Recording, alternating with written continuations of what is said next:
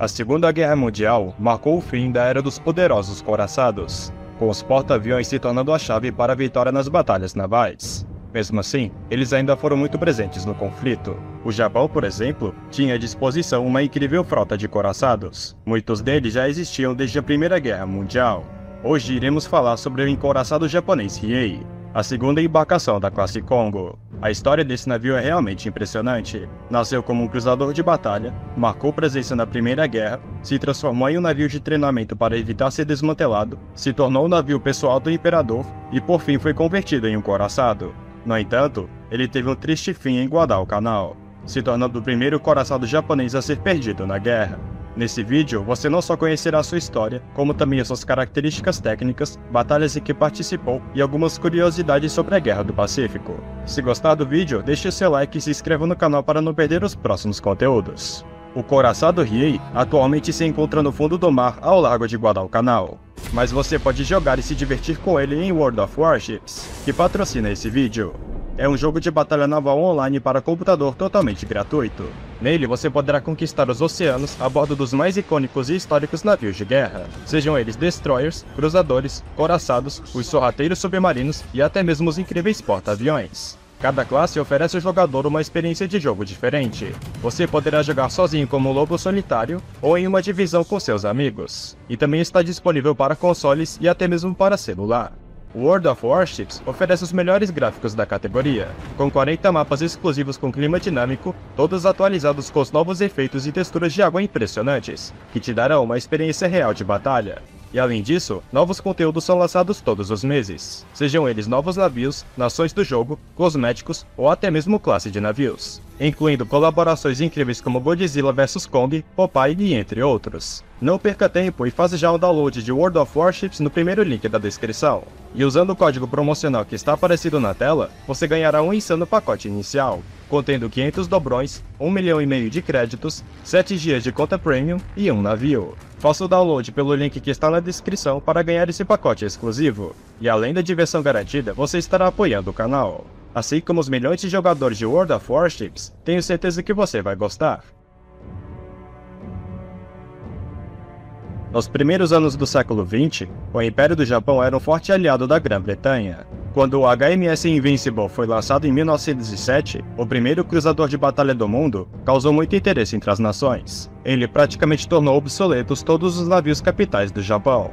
Mesmo sendo seu aliado, os japoneses queriam um navio melhor para competir contra os britânicos. Contudo, havia um grande problema. O Japão não estava preparado para construir um cruzador de batalha do zero. A solução foi ir para a Grã-Bretanha e encomendar um design de George Thurston.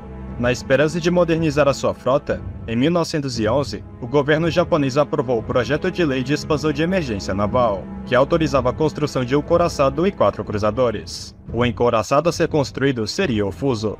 Um contrato foi assinado com a Vickers. O primeiro cruzador seria construído na Inglaterra e os restantes no Japão havendo uma transferência de tecnologia para que eles pudessem construí-lo sozinhos. O primeiro cruzador seria o Congo, o último navio de guerra japonês a ser construído no exterior. Os restantes eram semelhantes, e seriam conhecidos como pertencentes da classe Congo. O segundo cruzador seria chamado de Riei, o terceiro de Kirishima e o último de Haruna.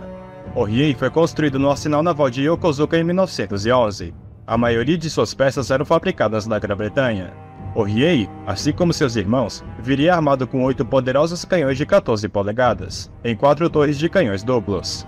O seu armamento secundário consistia em 16 canhões de 6 polegadas e 8 canhões de 3 polegadas. O Riei poderia atingir uma velocidade máxima de 30 nós, o equivalente a 56 km por hora, uma ótima velocidade para a época. Tinha o comprimento de 215 metros e um deslocamento de 27.500 toneladas. De todos os navios que o Japão tinha à disposição, a classe Congo era muito mais armada e blindada do que qualquer outro navio capital que eles tinham naquele tempo. Projetado por um britânico, o Riei foi lançado no dia 21 de novembro de 1912, e assim como seus irmãos, era um dos cruzadores de batalha mais bem armados do mundo. Ele foi finalizado a tempo para um conflito que estava prestes a acontecer, a Primeira Guerra Mundial. No ano de 1914, Boa parte das ilhas do Pacífico, como as Ilhas Carolinas, as Ilhas Marshall e as Marianas, estavam sob controle do Império Alemão. Com o início da Primeira Guerra, o Japão enviou um ultimato para a Alemanha. se eles não retirassem seus navios de águas chineses e japonesas e não transferissem o controle do porto de Tsingtao para o Japão, haveria guerra. Tsingtao era um porto que estava sob domínio alemão desde o final do século XIX. Ele era próspero e dava aos alemães uma enorme área de operações no Pacífico. Com as hostilidades aumentando um pouco antes da guerra, se tornou alvo dos interesses da Grã-Bretanha e do Japão. Os alemães tinham até o dia 23 de agosto para responderem o ultimato. Mas como a resposta nunca veio, o Japão declarou guerra à Alemanha no mesmo dia, invadindo Tsingtao no dia 2 de setembro. As forças japonesas também tomaram várias colônias alemãs no Pacífico, praticamente sem resistência. Entretanto, os cruzadores da classe Congo não tiveram uma participação muito ativa no conflito, já que não houve muita ação no Pacífico durante as hostilidades. Em outubro de 1914, o Riei foi enviado para apoiar o exército japonês no cerco de Tsingtao, o primeiro confronto entre a aliança anglo-japonesa e os alemães na Primeira Guerra. No entanto, ele teve que retornar para o Japão no dia 17, ficando longe do combate. O cerco durou por dois meses, e a guarnição alemã, em menor número e completamente cercada, se rendeu e entregou o porto para os japoneses. Essa foi a única grande batalha da Primeira Guerra que aconteceu no Extremo Oriente. Nos anos seguintes, Riei e seus irmãos participaram de várias missões de patrulha na costa chinesa, tarefa que fizeram praticamente até o fim da guerra, sem presenciar nenhum conflito. Quando a Primeira Guerra Mundial terminou, o Japão ganhou o controle das antigas possessões alemãs do Pacífico Central, Mal sabiam os dois países que em breve eles se tornariam grandes aliados comerciais. Com o fim da Primeira Guerra, as potências mundiais tentaram conter qualquer militarização a fim de evitar um novo conflito. Nesse contexto, em 1922 foi assinado o Tratado Naval de Washington, que limitava a construção de navios de guerra. O Japão foi limitado com uma proporção inferior à Inglaterra e aos Estados Unidos. Sendo assim, muitos navios tiveram que ser desmantelados. E para não sofrer o mesmo destino, o Riei foi desmilitarizado e convertido em navio de treinamento. O seu armamento e blindagem foram completamente retirados e guardados. Os seus irmãos da mesma classe seriam aqueles que fariam parte da frota japonesa. Ele passaria o período entre guerras servindo como navio de treinamento. Em 1933, o Riei seria novamente reformado, mas dessa vez para um propósito diferente. Ele seria o navio pessoal do imperador, onde o transportaria para suas viagens pelo Japão, se tornando o seu navio favorito. Ele manteria essa função por alguns anos. Um pouco antes do Riei servir ao imperador, o Japão rompeu com o Tratado Naval de Washington. Isso aconteceu muito por conta da invasão japonesa à Manchúria, que não foi muito bem recebida pelos outros membros da Liga das Nações. Com isso, a Marinha Imperial novamente modernizaria sua frota, e eles foram muito espertos ao não jogarem fora o armamento do Riei. Sem as limitações dos tratados navais de Washington e Londres, os japoneses modernizaram os cruzadores da classe Congo. Eles receberam caldeiras mais modernas, tiveram sua polpa alongada em 7 metros, sua blindagem foi melhorada e a elevação dos canhões foi aumentada para 43 graus. Por fim, eles receberam uma nova estrutura de ponte. Em 1937, o Riei deixaria de ser o navio pessoal do imperador para ser modernizado como seus irmãos, voltando a ser um navio de guerra. A sua estrutura de ponte era um protótipo que estava destinado para o supercoraçado Yamato.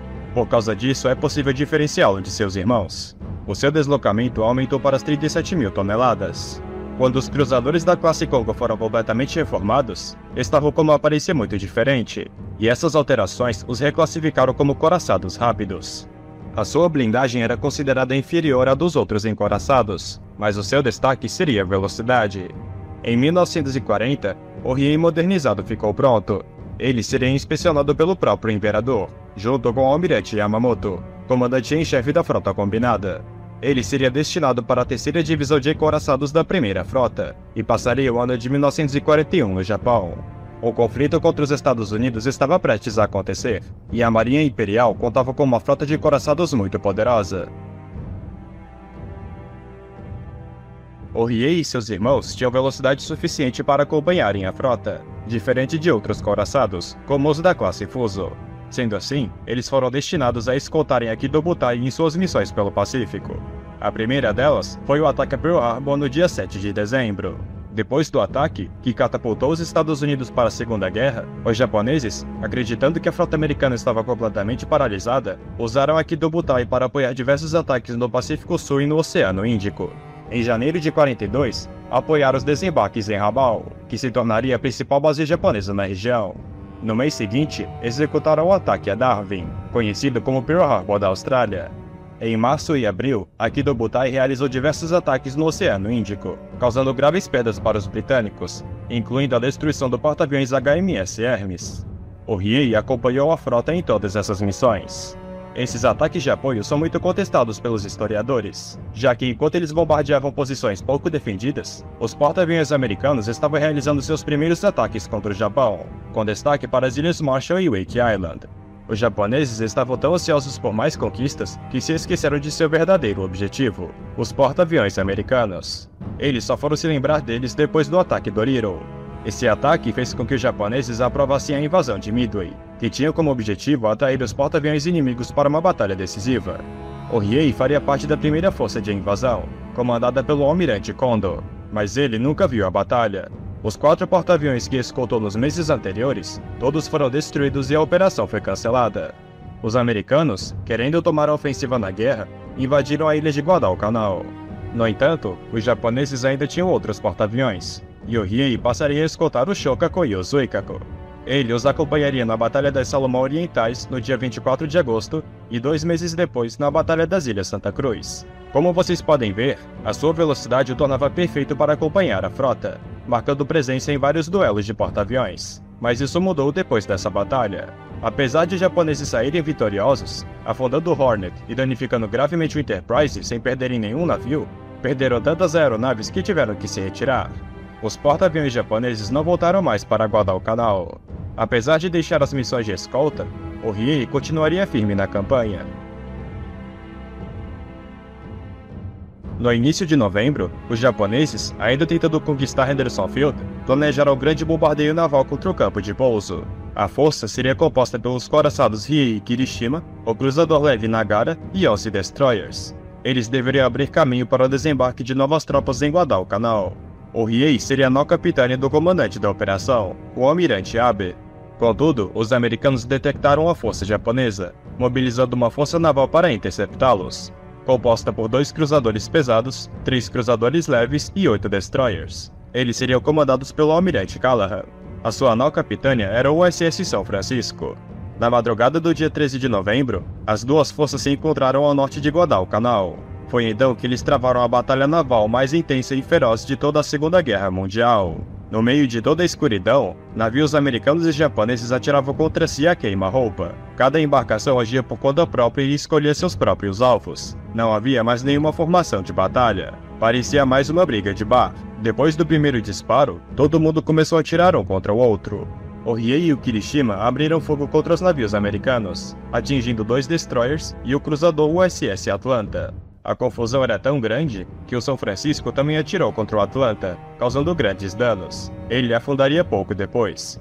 Foi então que as atenções se voltaram para o Riei. Ele avançou contra as posições inimigas e se tornou um grande alvo. A luta estava tão caótica que o destroyer USS Laffey quase colidiu contra o Riei, passando a uma distância de 6 metros. O Laffey disparou contra sua torre, ferindo o almirante Abe e matando seu chefe de gabinete. Os outros navios continuaram atacando o Riei, acertando dezenas de projéteis e torpedos. Alguns deles não explodiram ao atingi-lo. Ainda de pé, ele e o Kirishima então enfrentaram São Francisco, atingindo a sua superestrutura e matando Callahan. Mas em troca, ele danificou seriamente o mecanismo de direção do Riei. Depois de ser atingido por dezenas de projéteis e torpedos, o coraçado estava praticamente paralisado na água. Os dois lados, sofrendo pesados danos e não podendo continuar o duelo, se retiraram da luta. As baixas americanos foram muito maiores, mas eles conseguiram impedir que o campo de pouso fosse bombardeado. O Riei seria escoltado para fora da batalha, mas o seu mecanismo de direção estava gravemente danificado. Quando começou a inundar, o seu leme ficou preso a este bordo, e ele começou a andar em círculos para sempre. Apesar dos esforços de tentarem rebocá-lo, o seu destino já estava selado. Ele não podia mais sair de Guadalcanal. Quando amanheceu, o Riei continuava navegando em círculos próximo à ilha Savo. Às 9h15, ele seria atacado pelas aeronaves de Henderson Field. O ataque foi executado pelos Dauntless, Avengers e Wildcats da Força Aérea Cactus. Os caças ficaram responsáveis por destruir as antiaéreas, enquanto os restantes atacavam o navio com suas bombas e torpedos. Alguns bombardeiros B-17 também se juntaram ao ataque, e perto do meio-dia também foi atacado por torpedeiros do Enterprise, recém-reparado da Batalha das Ilhas Santa Cruz. Os ataques contra o indefeso encoraçado duraram o dia todo em várias levas. Ele recebeu impacto de pelo menos 7 ou 8 bombas e de 5 a 8 torpedos. Os números não são muito precisos. Ele estava completamente destruído. Apesar dos esforços de tentar salvá-lo, o ferido almirante Abe ordenou que abandonassem o navio. Na noite do dia 13, ele seria afundado pelos próprios navios. 188 tripulantes perderam suas vidas durante os ataques. Os sobreviventes foram transferidos para os destroyers que estavam com ele. O Riei foi o primeiro coraçado japonês a ser destruído pelos americanos na Segunda Guerra Mundial. Na madrugada do dia 14, os americanos e japoneses novamente se enfrentariam em uma intensa batalha naval noturna, que resultou na destruição de seu irmão Kirishima. Esses confrontos ficaram conhecidos como a Batalha Naval de Guadalcanal, o confronto naval mais intenso desde a Batalha da Jutlândia. Os americanos, apesar de perderem muito mais navios, saíram vitoriosos. Eles impediram os japoneses de bombardearem Henderson Field, mas o preço foi muito alto. Quase todo o navio americano envolvido na batalha foi destruído ou seriamente danificado. Essa batalha só não é considerada uma vitória de birro porque os japoneses não podiam repor as suas perdas, e o resultado dessa batalha acelerou sua derrota em Guadalcanal. O fim do Riei não marcou apenas a destruição do primeiro coraçado japonês. Antes da Batalha das Ilhas Santa Cruz, os americanos e japoneses ainda lutavam ferozmente pelo controle de Henderson Field. O Japão tinha vantagem nos mares, e os Estados Unidos nos céus e em terra. A nível tático, a luta ainda estava muito equilibrada, mas depois da batalha, os porta-aviões japoneses se retiraram de Guadalcanal. Já o Enterprise foi reparado em duas semanas, e no dia 13 ajudou a finalizar o Riei. O seu naufrágio é um símbolo da derrota dos japoneses em Guadalcanal, mostrando que depois da Batalha das Ilhas Santa Cruz, eles estariam praticamente sem apoio aeronaval pelo restante da campanha, dando essa vantagem para os americanos. Na mesma semana, os aviões do Enterprise afundaram o cruzador pesado Kinogasa e destruíram um comboio japonês que enviava reforços e suprimentos. O Enterprise desempenhou um papel fundamental em deter o avanço dos japoneses em Guadalcanal no mês de novembro. A perda do Riei foi o primeiro sinal de que a Batalha das Ilhas Santa Cruz acelerou a derrota do Japão em Guadalcanal. Recentemente, em fevereiro de 2019, a equipe de Paul Allen encontrou o Riei, ele está a 900 metros de profundidade a noroeste da ilha Savo, onde descansa junto de outras dezenas de navios nas águas de Guadalcanal. Gostou desse vídeo? Se inscreva no canal e deixe seu like para não perder nenhuma novidade. Eu vou ficando por aqui e nos vemos no próximo vídeo.